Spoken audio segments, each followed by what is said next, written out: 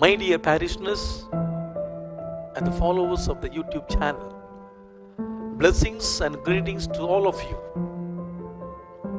I hope and pray that you are all in good health and in safe situation. I hope you may all know the current situation and the testing period and the problems which the world is undergoing at the moment. These things we never ever dreamt ever in our dreams.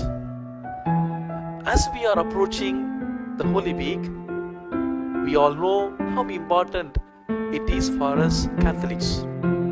Therefore, to make it easy and to participate meaningfully, I am happy and thankful to God to bring it to you live telecast of our Holy Week services through the medium of YouTube channel and on the televisions.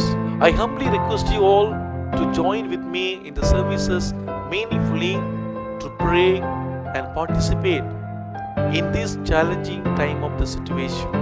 Therefore, you can participate either through the YouTube channels or through the television or through your laptops or the mobile phones prayerfully. As you are watching from your home, don't think that you can watch while eating or while lying down on the bed or doing something of your household works. I kindly request you to participate in the online Holy Week services as you participate in the search that means to wear the proper dress code while you are attending the services online as a whole family to receive the blessings of the Holy Week. May the merciful God protect you all from this coronavirus. May the solemnity of Easter may bring to us and the entire world peace and joy. May God bless all of you.